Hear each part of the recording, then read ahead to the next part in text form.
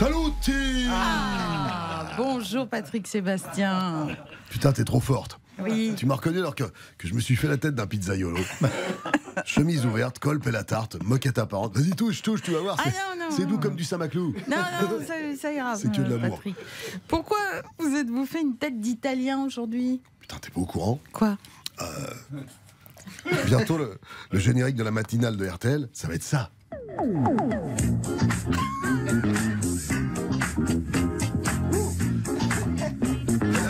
Monte sur la table et danse. Concours de chemise mouillée pour le Calvi. E Negroni per tutti. Pour tout le monde, ouais.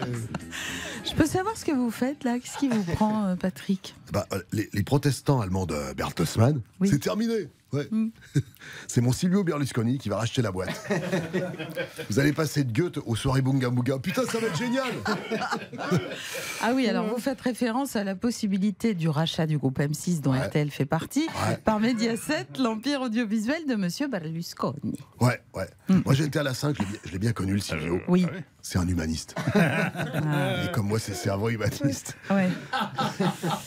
Quand ce sera le, le patron d'M6, je vais lui produire une émission littéraire pour, pour faire taire tous ceux qui disent que, que le macaroni, il salit tout ce qui touche. C'est pas vrai, j'adore, c'est un humaniste. hein. Ah d'accord, et elle sera présentée cette émission par Augustin Trapenard sûrement?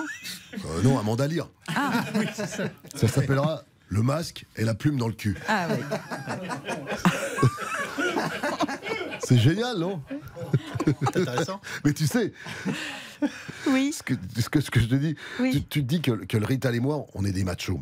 un peu, ouais, je me le dis. ouais. Mais non, on n'aura pas qu'Amanda Lear sur le plateau. Il y aura des femmes aussi. Des chroniqueuses littéraires Ouais. Toutes Ouais. les candidates euh, de Miss France. Attends, je te vois venir.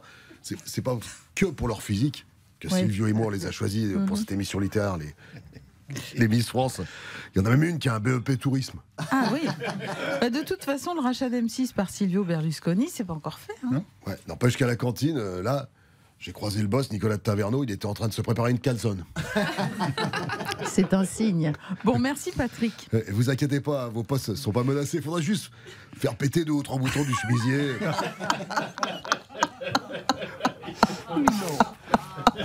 Par contre, le jour où Silvio est dans les murs, planquer les stagiaires de- du troisième, troisième, parce que Silvio, c'est que de l'amour. Allez, musique C'est que de l'amour. Quant à toi, mon, mon Julien Courbet, dans ta future nouvelle émission, ça peut vous arriver à tôt.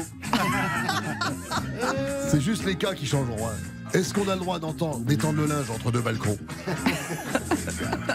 Peut-on rouler à 4 sur une Vespa Et cette question de Silvio B à Milan. Puis-je porter plainte contre mon chirurgien esthétique Parce que maintenant, quand je souris, je pète